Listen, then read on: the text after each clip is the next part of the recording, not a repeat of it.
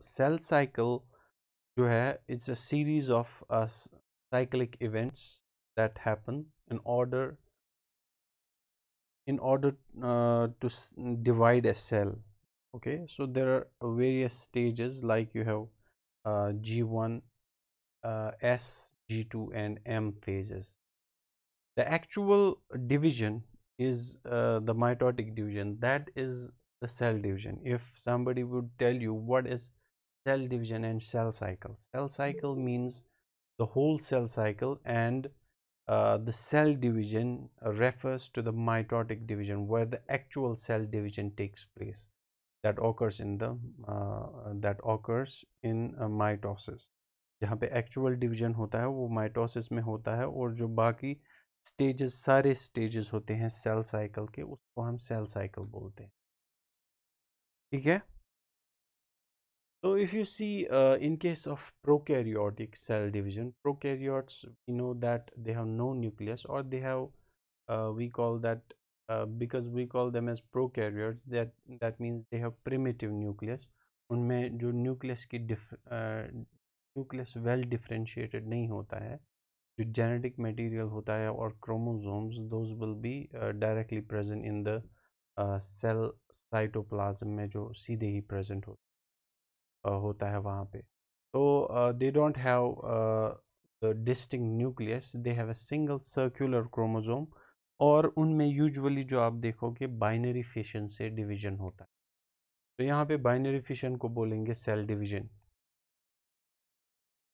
Okay जो cell division है as I said it is comprise पहले हम देखेंगे what is the definition of the cell cycle what is a cell cycle और cell division cell cycle refers to the series of events that take place in a cell resulting in the duplication of D N and division of cytoplasm and organize to produce two daughter cells जो cell division होता है mainly किस चीज़ के लिए use होता है हमारी body में? कि जो सेल है, वो डिवाइड हो जाए in two cells and for that as we know अगर किसी सेल uh, को डिवाइड करना है उसमें क्या क्या चीज़ें पहले प्रेजेंट होगी? मेनली अगर हम देखेंगे uh, किन चीज़ों से सेल बनी है it's made up of cell membrane you have nucleus nucleus में आपका डीएनए प्रेजेंट है and then you have cytoplasm तो इन चीज़ों को आपको डिवाइड करना है। सो दैट मीन्स जो दूसरी सेल आपकी होगी उसमें भी यही चीज़ें होनी चाहिए।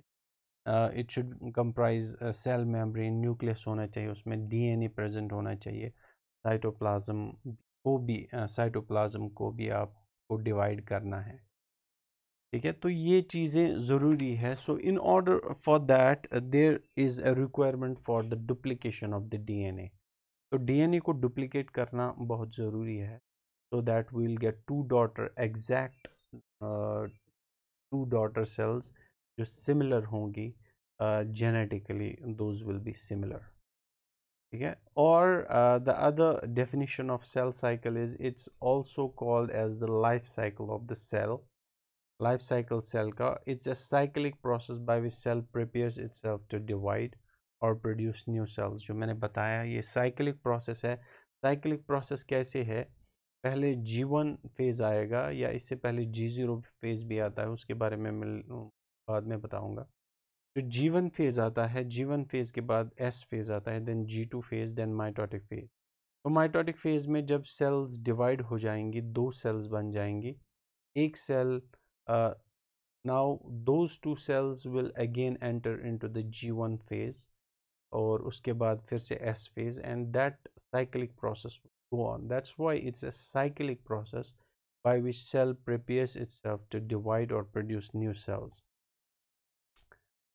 or these are the different uh, versions of uh, you can say uh, definitions of the cell cycle it is the ordered series of events the cell undergoes to divide you get the series of or the other definition will be the series of growth and development steps a cell undergoes between its formation and reproduction that would be the other or there will be exception exception कौन है यहाँ पे mature red blood sales जो mature red blood sales होती you know that कि जो mature red blood sales होती हैं उनमें जो न्यूक्लियस है वो बाहर निकल जाता है और उसकी वजह से वहाँ पे जब न्यूक्लियस ही नहीं प्रेजेंट होगा for the cell division you require the genetic material को डुप्लिकेट करना ज़रूरी है और उसको एग्जैक्ट कॉपीज़ में दूसरी सेल में भेजना भी ज़रूरी है। सो so, जब वहाँ पे न्यूक्लियस ही नहीं होगा जेनेटिक मटेरियल नहीं होगा क्रोमोसोम्स नहीं होंगे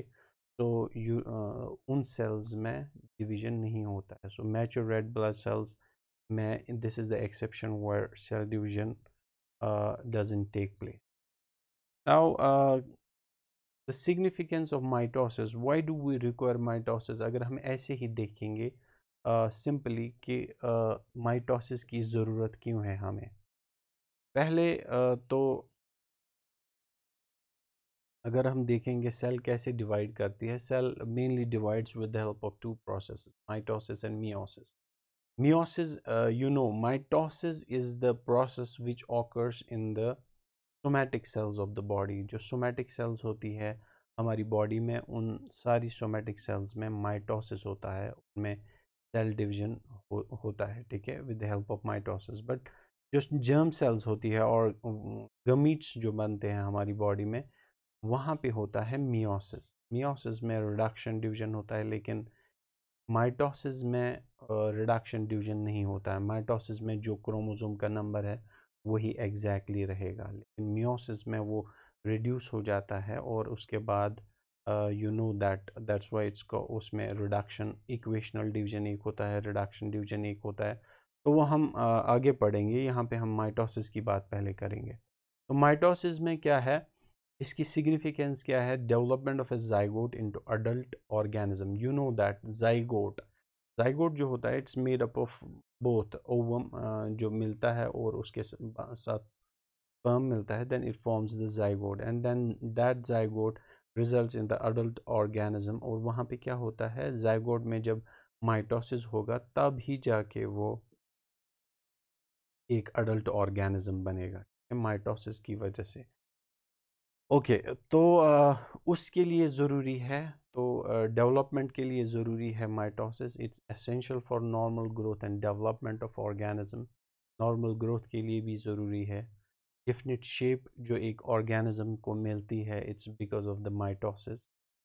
And अगर हम देखेंगे जो नए ऑर्गन्स बनते हैं, रूट्स बनते हैं लीव स्टेम्स एंड ब्रांचेस जो बनते हैं प्लांट में, वहाँ पे भी सेल डिवीज़न और सेल साइकिल या माइटोसिस की ज़रूरत पड़ती है।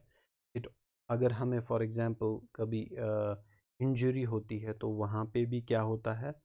जैसे आपको कोई इंजरी हो गई तो वहाँ पे वो सी हो जाता है बाद में तो that also occurs because of the mitosis repairing of damage parts और अगर हमारी बॉडी में जो सेल्स है their life span span is over वो ओल्ड हो जाएँगी एंड दोज सेल्स वहाँ पे जो रिप्लेसमेंट की ज़रूरत है that also occurs because of the cell division old decayed and dead cells जो होती हैं, उनकी रिप्लेसमेंट भी इसी की वजह से होती है। या जिन सेल्स में एजिंग हो जाती है, उनके बाद उनको एपोप्टोसिस होता है। Apoptosis is the process by which it's called program cell death जो हमारी बॉडी में होती है, यानी जो अब सेल्स वॉर्न आउट हुई होती हैं या जिनमें कोई डिफेक्ट होगा वो एक प्रोसेस की वजह से दैट्स कॉल्ड एपोप्टोसिस की वजह से वो लेटर ऑन उसको ख़त्म किया जाता है हमारी बॉडी में। तो वहाँ पे भी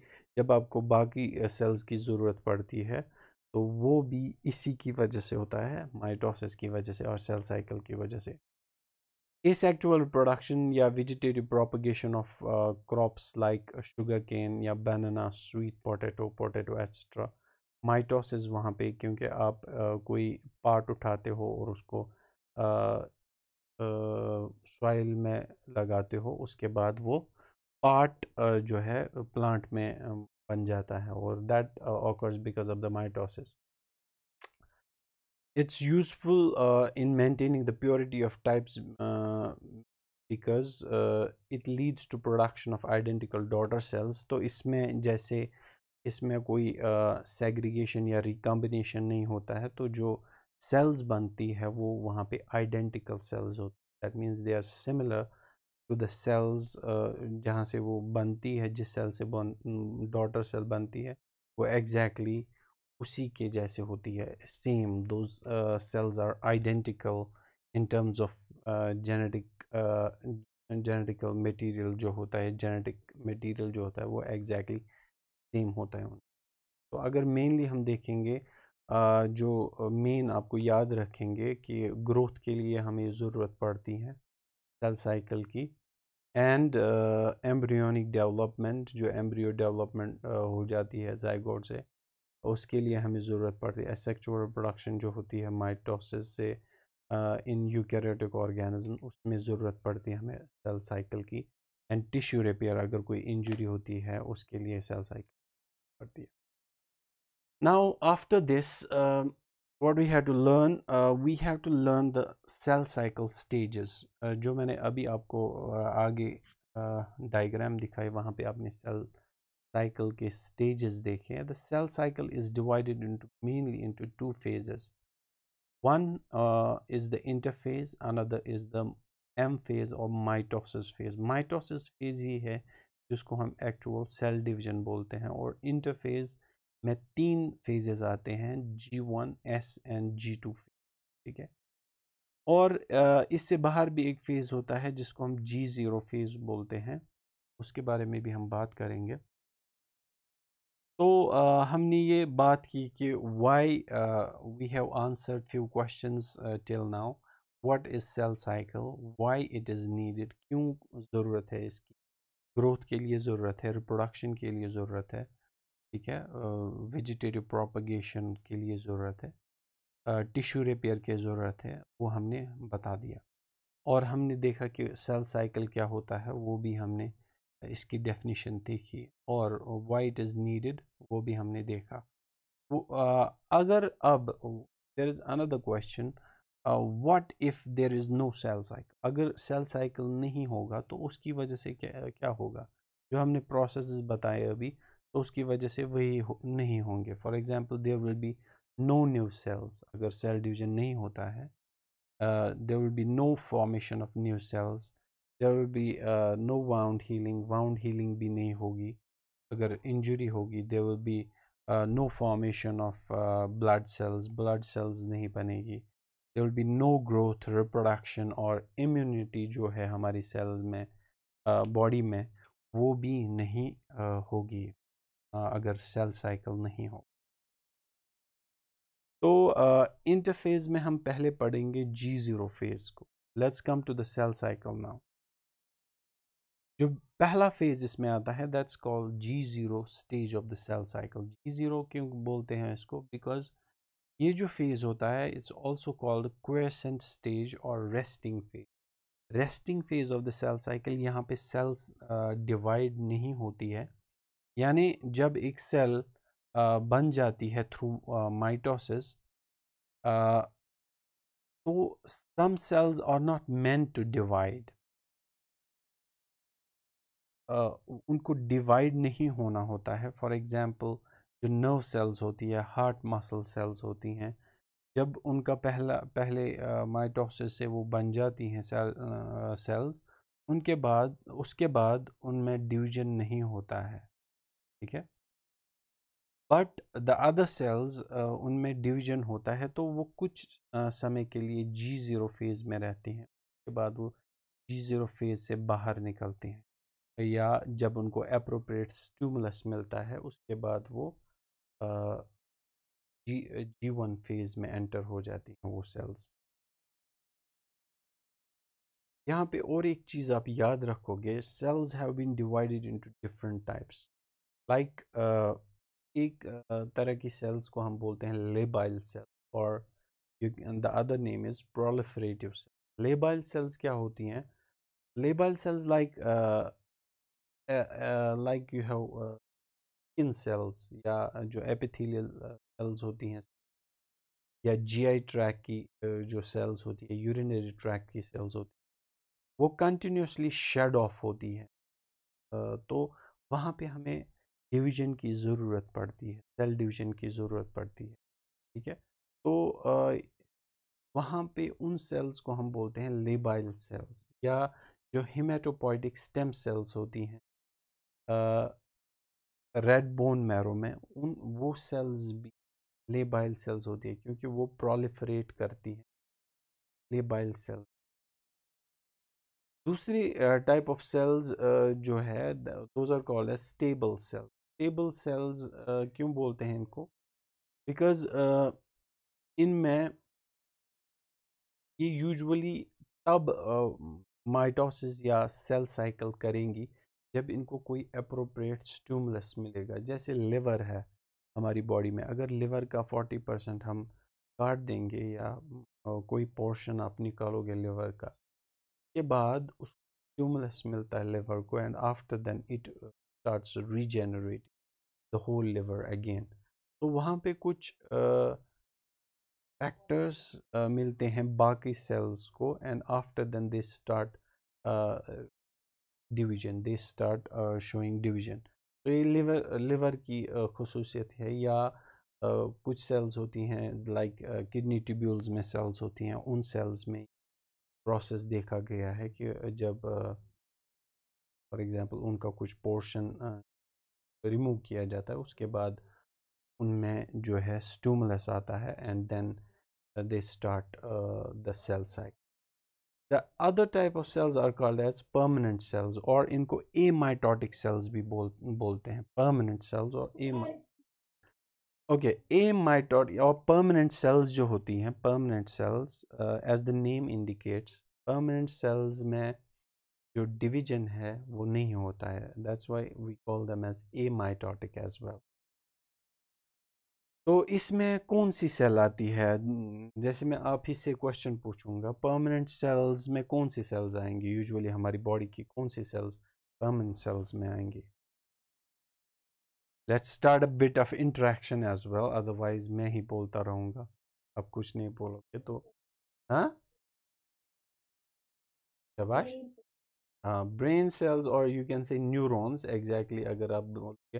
ब्रेन में भी brain cells exactly made up of neurons तो न्यूरॉन्स जो हमारी बॉडी में होती हैं या स्केलेटल मसल्स जो होती हैं हमारी बॉडी में uh, वो उनका डिवीज़न नहीं होता है या कार्डियक मसल हमारी बॉडी में once they are formed after then उन ग्रोथ हो जाती है बट दे डोंट यानी वो बढ़ेंगी बट उसके बाद उनको उनका डिवीज़न नहीं होता दूसरा called as permanent cells. So I told you about three types of cells labile cells stable cells and permanent cells.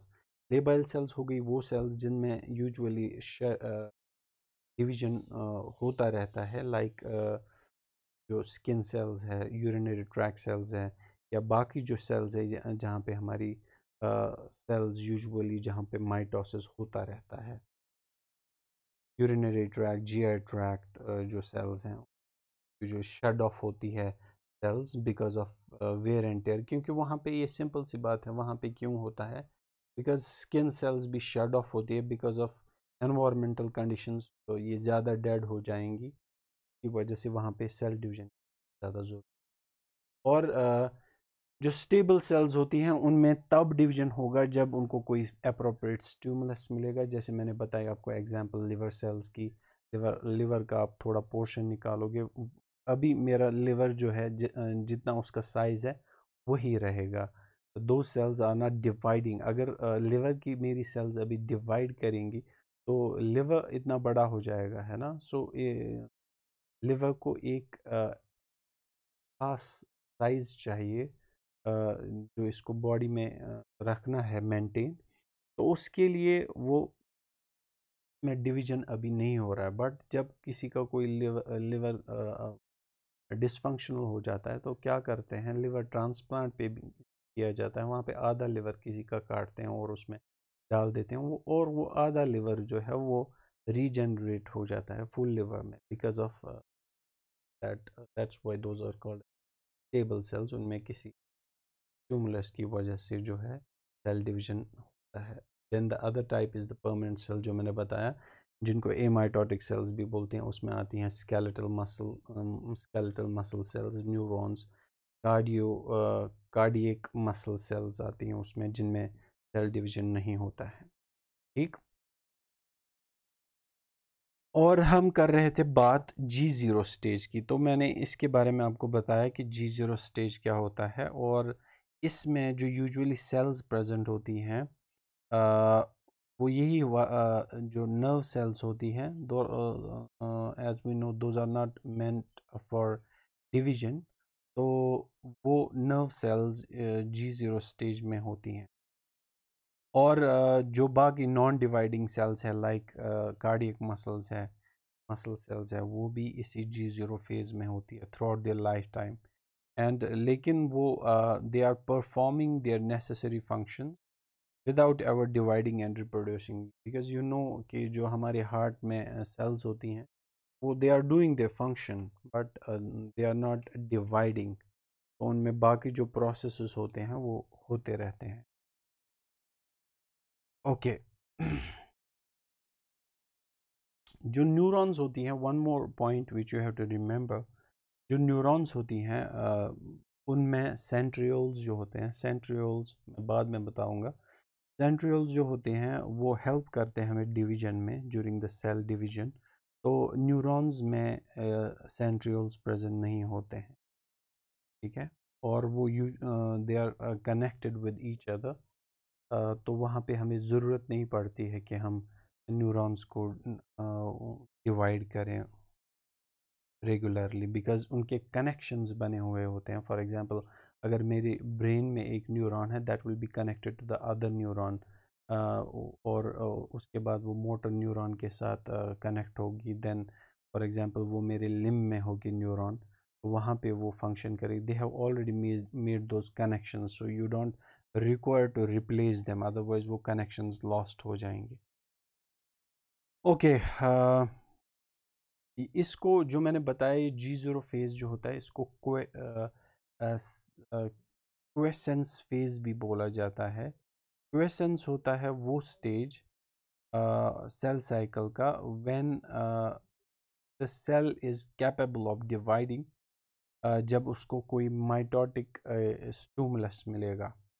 तो क्वेसेंस स्टेज होता है वो। There is are two terms quiescence and senescence senescence होता है, यानी जब एक cell उस स्टेज पे पहुँचती है, यानी उसका सेल का जो लाइफ टाइम का जो पीरियड होता है, लाइफ क्या बोलेंगे उसका, लाइफ स्पैन जो होता है उसका, वो ख़त्म हो जाएगा तो वहाँ पे का वो सेनेसेंट स्टेज आता है, उसके बाद वो जो सेल है वो डेड हो जाती है with the help of the process जो मैंने बताया अपोप्टोसिस ठीक है?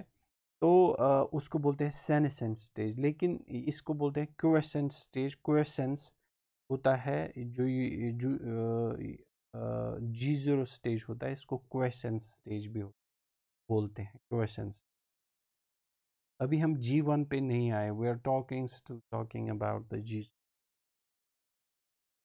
okay Can you give me some more examples uh, of the cells that do not divide in our body? शाबाश एक तो हमने न्यूरॉन्स की बात की और हमने स्केलेटल मसल्स बोला कार्डियक मसल सेल्स बोला और कोई सेल है जो डिवाइड नहीं करती है। Eye cells exactly red blood cells हाँ रेड ब्लड सेल्स डिवाइड नहीं करते मैच्योर रेड ब्लड सेल्स हाँ रेटिनल रिसेप्टर सेल्स होती हैं retinal receptor cells those do not divide as well और जो फैट सेल्स हमारी बॉडी में होती है फैट सेल्स वो भी डिवाइड नहीं करती है.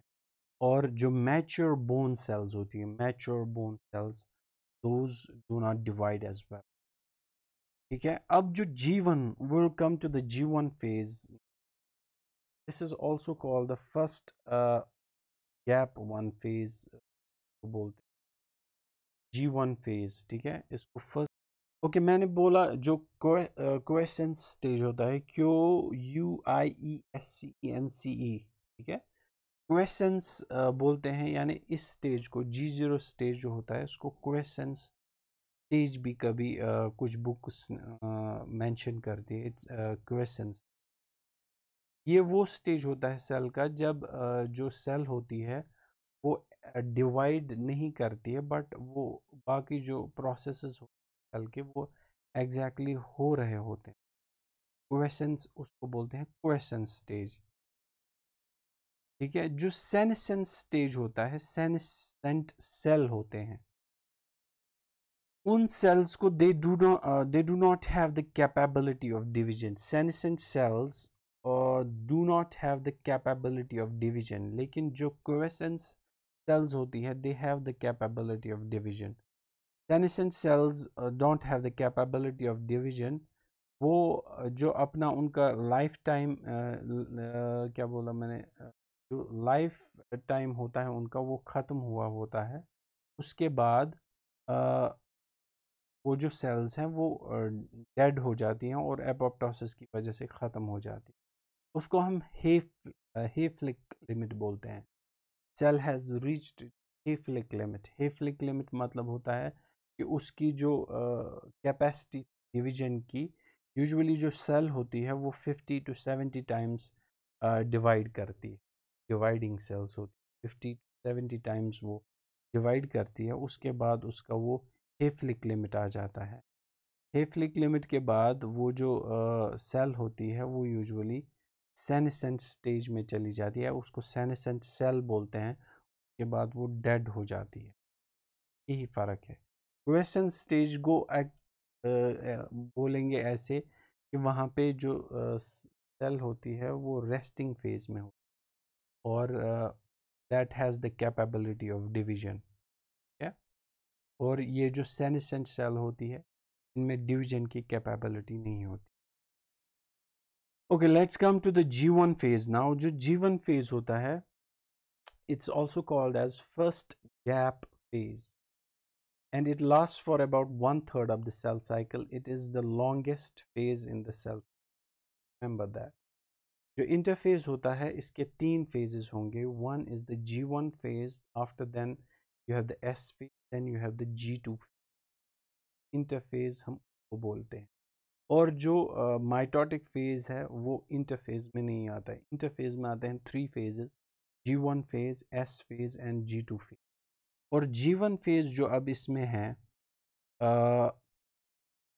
G one phase usually last for about अगर हम 24 आवर्स का लेंगे सेल साइकिल तो फॉर 11 आवर्स जो होता है जी वन फ़ेज़ होता है और for about 11 hours that's one third of the जो सेल साइकिल का टाइम होता है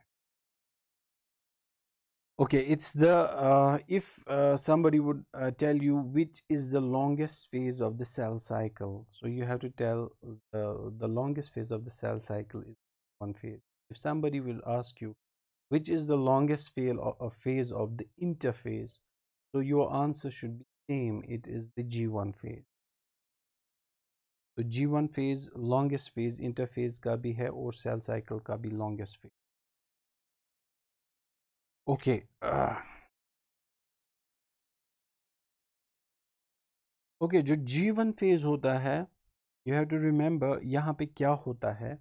Cell grows in mass and prepares self for application because we know G one phase के बाद कौन सा फ़ेज़ आता है? जी वन फ़ेज़ के बाद आता है synthesis S it's also called as synthesis phase synthesis phase में क्या होता है? वहाँ पे डीएनए सिंथेसिस ए सिंथेसिस के लिए हमें जो ज़रूरत पड़ेगा that will occur in the G one phase because G one follows S phase G one के बाद एस फ़ेज़ आता है तो एस फ़ेज़ में जो आपकी रिक्वायरमेंट्स है, वो आपको कंप्लीट करनी है in the G one phase the growth phase तो यहाँ पे ग्रो क्या करेगी सेल सेल मास यहाँ पे इंक्रीज होगा और जो रेप्लिकेशन के लिए फॉर एग्जांपल प्रोटीन ज़रूरत होंगे, वो यहाँ पे सिंथेसाइज होंगे। Cell synthesize proteins and M R N that are essential for synthesizing DNA ठीक है? तो जो भी रिक्वायरमेंट्स है सिंथेसिस के लिए रेप्लिकेशन ऑफ़ द डीएनए के लिए, वो जो चीज़ें हैं, वो सारी जी वन फ़ेज़ में ठीक है?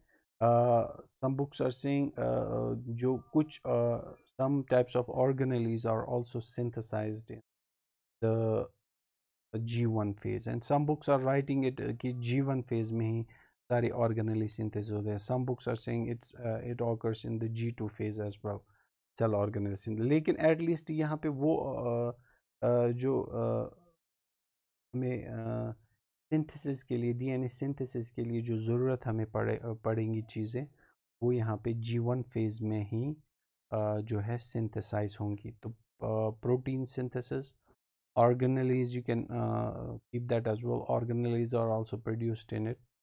And uh, the cell increases in volume जो इसका साइटोप्लाज्म है वो इंक्रीज हो जाता है।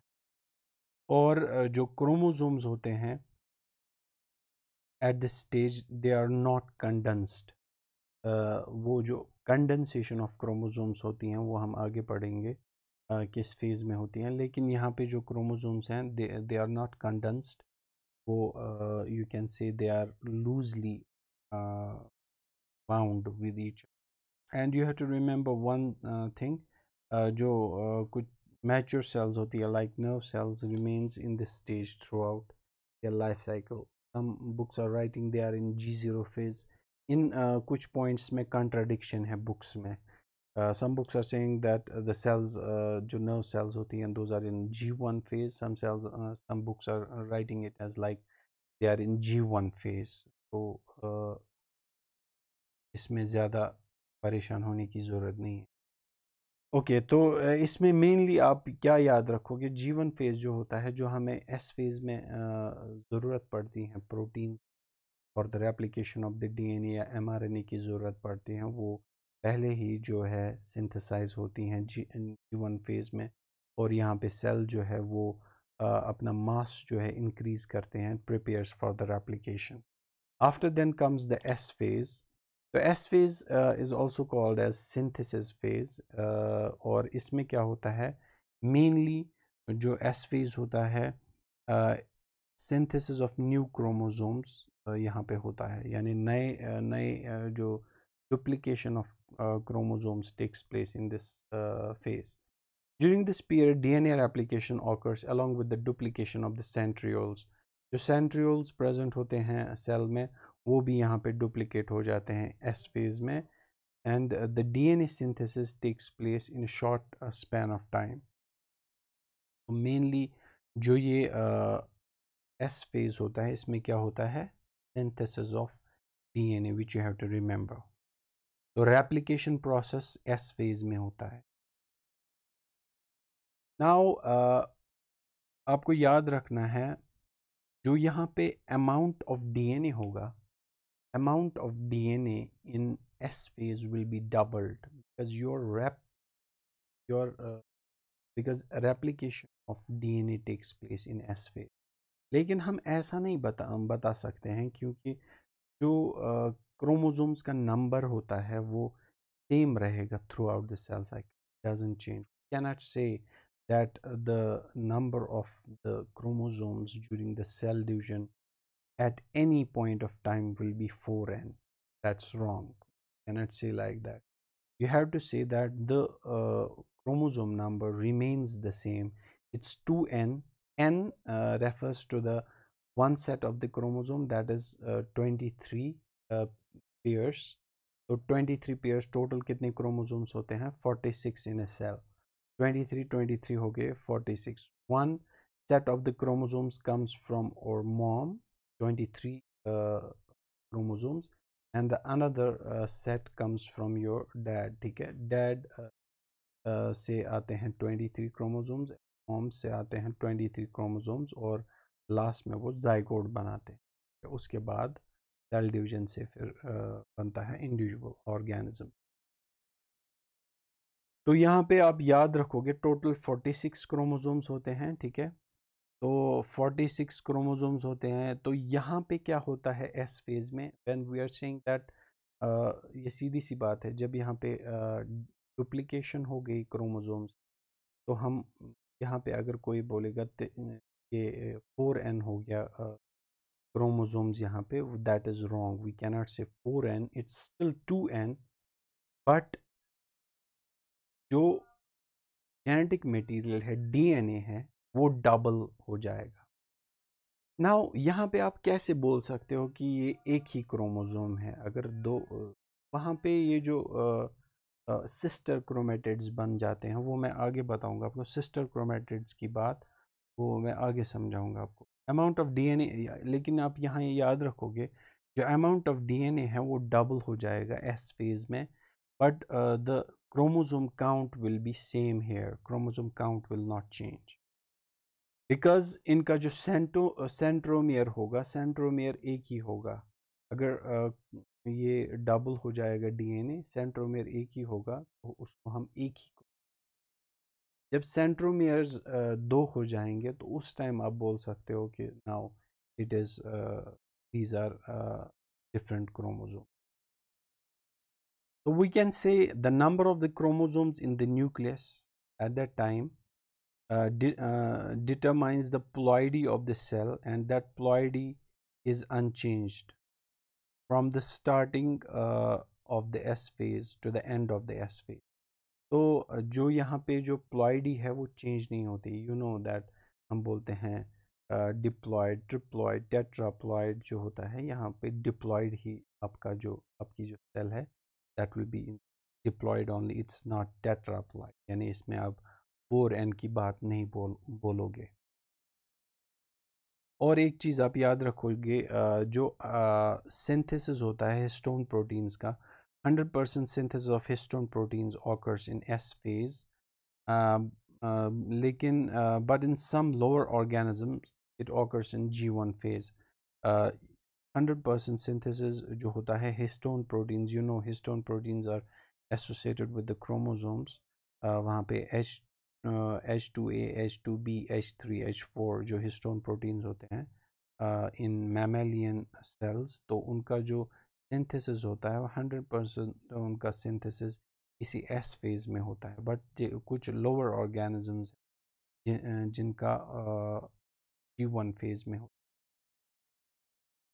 और इसमें भी आप याद रखोगे जो क्रोमोसोम्स होते हैं इन एस फ़ेज़ में दोज आर अनकंडेंस्ड अभी ये कंडेंस्ड नहीं हुए होते हैं and they are not visible तो if you will try to see that cell under the microscope अगर आप ये जो सेल है, इसको माइक्रोस्कोप में देखना चाहोगे, जो इंटरफेज में होगी सेल तो उसका जो क्रोमोसोम्स हैं, वो आपको अलग अलग नहीं दिखेंगे कैनॉट से अलग अलग आप उनको देख नहीं पाओगे ये क्रोमोसोम नंबर वन है ये क्रोमोसोम नंबर टू जैसे हम डिफ्रेंशिएट कर पाते हैं क्रोमोसोम इन अंडर माइक्रोस्कोप वो आप नहीं कर पाओगे ज्यूरिंग द इंटरफेस बिकॉज़ जो इंटरफेस होगा इंटरफेस में जो आ, ये जेनेटिक मटेरियल होगा या डीएनए होगा it will be in the uncondensed form ठीक है? कैरियोटाइपिंग का नाम आपने सुना है? कैरियोटाइपिंग में क्या करते हैं हम? कैरियोटाइपिंग में हम यही चीज़ देखते हैं। We are analysing the chromosomes of the individual वहाँ पे लेकिन इस फ़ेज़ में हम अरेस्ट करते हैं सेल को। We are arresting cell in the metaphase metaphase में क्यों करते हैं अरेस्ट सेल को? क्योंकि वहाँ पे जो होता है, बहुत ज़्यादा जो क्रोमोजोम्स होते हैं they are in fully condensed state at that time तो वहाँ पे अलग अलग हमें सीधे जो क्रोमोजोम्स हैं, वो दिखते हैं वहाँ।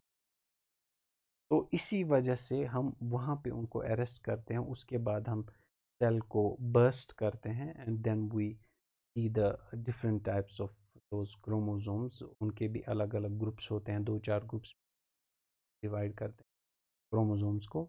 वो सेपरेट टॉपिक है, कभी देखेंगे उसके बारे में। तो कहने का मतलब ये है कि जो यहाँ पे जो क्रोमोजोम्स होंगे they will be in the uncondensed form you can not see the this is the one chromosome this is the two chromosome we can do that only in the mitotic phase only ठीक है? Okay after then will come to the G two phase तो S phase में mainly आप याद रखोगे, यहाँ पे जो है मेनली सिंथेसिस होती है इसकी डीएनए की replication of DNA will take place in the S phase and इसके जो रॉ मटेरियल्स होंगे आपको जी uh, वन में वो सिंथेसाइज होंगे। Now what is the G two phase अब जो जी टू फ़ेज़ है जी टू फ़ेज़ में क्या होगा? वहाँ it's also called is growth and preparation for mitosis growth and preparation for mitosis अगर आप देखोगे जी टू फ़ेज़ के बाद आता है माइटोटिक फ़ेज़ माइटोटिक फ़ेज़ जो है अब आ, तो ये जी टू फ़ेज़ क्या करेगा? सेल को प्रिपेयर करेगा फॉर द माइटो तो यहाँ पे जो माइटोसिस की अब ज़रूरत है जो जिन चीज़ों की ज़रूरत है वो सिंथेसाइज होंगे in G it's also called as second gap phase ठीक इसको बोलते हैं फ़र्स्ट गैप फ़ेज़ इसको बोलते हैं सेकेंड गैप फ़ेज़ तो ये डिफरेंट डिफरेंट जो टर्म्स हैं, ये आप याद रखोगे। इनको गैप फ़ेज़ भी बोलते हैं सेकेंड गैप फ़ेज़ बोलते हैं, उसको फ़र्स्ट गैप फ़ेज़ बोलते हैं G two G one phase पहले को बोलते हैं जी टू फ़ेज़ बोलते हैं और इसमें क्या सेल कर दी है? Cell grows more in this phase by making proteins कौन से प्रोटीन्स बनाएगी इस जी टू फ़ेज़ में? जो माइटोसिस में प्रेजेंट होगा। माइटोसिस में आपको ट्यूब्यूलिन प्रोटीन की ज़रूरत पड़ती है, क्योंकि वहाँ पे जो स्पिंडल फॉर्मेशन होती है वो होती है because of that tubulin protein ठीक है? तो वो सिंथेसाइज यहाँ पे होंगे और बाकी जो रॉ मटेरियल होंगे वो यहाँ पे सिंथेसाइज होंगे। ओके okay, यहाँ पे सेल ये भी चेक करती है बिकॉज़ आपका ऑलरेडी एस फ़ेज़ कंप्लीट हुआ होता है। तो in this G two phase the cell also checks whether the both copies of DNA are correct and intact uh, as well. तो जी टू फ़ेज़ में ये सेल ये भी देखेगी कि जो डी एन ए यहाँ पे रेप्लिकेट हो गया वो ठीक से रेप्लिकेट हुआ उसमें कोई एरर तो नहीं है ठीक है? तो यहाँ पे there are check points present in the cell cycle let me tell you about दो चेक पॉइंट्स एक चेक पॉइंट होता है G one S check point ठीक है जी वन के बाद आता है एक point that's called G one S check point ठीक है और दूसरा आता है G two M check point तीन चेक पॉइंट्स होते हैं। G two M check point यहाँ पे यही चीज़ चेक करता है कि whether the both copies of the DNA are correct and intact as well okay तो यहाँ पे क्या क्या चीज़ें सिंथेसाइज होंगी? लाइक like, जैसे मैंने बताया ट्यूबुलेंट प्रोटीन सिंथेसाइज होगा। प्लाज्मा मेम्ब्रेन प्रोटीन्स यहाँ पे सिंथेसाइज होंगे एटीपी सिंथेसाइज होंगे because you require those ATPs या जो ट्यूबुलेंट प्रोटीन है you require those proteins in the mitotic phase ठीक? तो कोई मुझे बताएगा यहाँ पे अमाउंट ऑफ़ डीएनए क्या होगा in the cell amount of the DNA in the cell in the G two phase it will be yes, it will be double. amount of DNA uh, in the G2 phase will be double but uh, the chromosome number or chromosome count will be same it will be 2n और centromeres uh, भी अभी same ही होंगे ठीक है okay so number of chromosome in the nucleus that determine the ploidy of the cell remains unchanged from starting to the end of the G2 phase as well तो यहाँ पे आप याद रखोगे जो प्लॉइडी uh, है वो भी सेल की चेंज नहीं होगी is still 2n that is uh, the, your cell will be deployed. ठीक है ओके नाउ इसके बाद आता है हमारा M stage of cell cycle तो ये है actual cell division mitotic M stage of the M stands for mitosis mito होता है mito means thread and osis मतलब होता है स्टेट तो थ्रेड स्टेट में यहाँ पे जो क्रोमोजोम्स होते हैं वो प्रेजेंट होते हैं। In this way cell divides its copy DNA and cytoplasm make two new cells इसमें जो इस फ़ेज़ में क्या होता है जो सेल होती है वो uh, जो कॉपी डीएनए होता है डिस्ट्रीब्यूट करेगी इनको टू डिफरेंट सेल्स में। और जो यहाँ पे न्यूक्लियर एनवलप होता है वो ब्रेक हो जाता है you know that we will talk about those phases कहाँ पे एग्जैक्टली न्यूक्लियर एनवलप ब्रेक होगा। एंड uh, यहाँ पे साइटोस्केलेटन भी रीऑर्गेनाइज uh, होता है। एंड uh, uh, उसके बाद आता है माइटोसिस में it comprise of two phases if you will uh, one is called the uh, karyokinesis another is called the cytokinesis karyokinesis uh, हम उसको बोलते हैं कैरियो मीन्स न्यूक्लियस यूजुअली हम बोलते हैं ठीक है तो जो न्यूक्लियस होता है वो यहाँ पे डिवाइड होता है that's why it's called karyokinesis और जो साइटोकाइनेसिस uh, होता है that's the actual division of the further divide this process in one's called karyokinesis another is called cytokinesis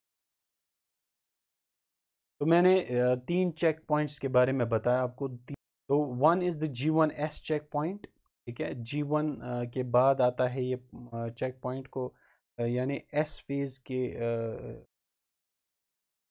साथ में होगा ये G one that's why it's called G one S check point दूसरा आएगा आपका G two M check point और तीसरा जो चेक पॉइंट होता है दैट्स अवेलेबल जो present that's present in the exact might metaphase of the cell division metaphase होता है सेल डिवीज़न का। इनके चेक पॉइंट्स के बारे में हम डिटेल में पढ़ेंगे कि ये कैसे रेगुलेट करते हैं सेल डिवीज़न को। वो हमारे सिलेबस सिलेबस में भी है हम डिटेल में पढ़ेंगे। तो वो होता है metaphase of the cell division cell division या माइटोसिस होता है, पे वो मेटाफेज में प्रेजेंट होता है that's called M check point या uh, हाँ एम चेक पॉइंट उसको बोलते हैं ठीक है metaphase means metaphase checkpoint so till now you should be able to uh, say the uh, would be able to answer these questions define cell cycle name the phases of the cell cycle now you know what are the phases of the cell cycle one uh, is the G1, S, G2 and M phases and in M phases you have two, two uh, karyokinesis cytokinesis and uh, what is the G1 phase of the interphase G1 phase uh, interface का क्या होता है कि उसमें क्या होता है you can you would be able to uh, tell me right now कि G1 phase में क्या होता है और वो कौन सा phase होता है cell cycle का which phase follows the S phase in the cell cycle कौन सा फ़ेज़ करता है फॉलो देखिए क्यों आंसर बोलता है? व्हाट इज़ माइटोसिस ये you should be able to answer this questions why do we require cell cycle हमें सेल साइकिल की ज़रूरत क्यों पड़ती है? You should be able to answer this question now some important points about the phases of cell division duration of the cell cycle in case of mammalian cells you can see here uh, that जो cell cycle होता है इसकी duration क्या होती है for example if we talk about the G1 phase of the cell cycle uh, it lasts for about 11 hours it's the longest phase of the cell cycle you have to remember that if uh, the cell cycle is for 24 hours S phase will be of 8 hours and G2 phase 4 hours mitotic mitotic phase will be just for 1 hour the last uh, एक घंटे में जो है actual division हो जाता है। Otherwise cell takes lot of time to prepare itself for that one hour division ठीक है? तो ये चीज़ आप याद रखोगे कि जो सेल साइकिल है यूजुअली इसका जो जी वन फ़ेज़ होता है that's the longest phase that is for eleven hours उसके बाद एट आवर्स के लिए S phase and then four hour G two phase and one hour mitotic phase तो माइटोटिक फ़ेज़ अब देखो कितना छोटा होता है। Or we know that what are the phases of the mitosis we have to talk about the mitosis now and before that let me tell you mitosis में होते हैं uh, चार phases prophase metaphase anaphase and telophase pmat pmat से आप याद रखोगे और p on mat okay P prophase metaphase anaphase and telophase. तो uh, कुछ बुक्स इसको ऐसे भी डिफाइन प्रोफेज प्रो मेटाफेज फिर metaphase then metaphase anaphase and then telophase. Telophase को भी या जो एनाफेज होता है उसका भी pro usually in some books present है। माइटोटिक फ़ेज़ अब क्या होता है? माइटोटिक फेज में पहला जो फेज आता है दैट इज प्रोफेज ठीक है प्रोफेज में क्या होता है के about the phases of cell division will talk in our next lecture where we will read about uh, where we'll learn about prophase metaphase anaphase telophase okay that's all for today and see you in the next lecture thank you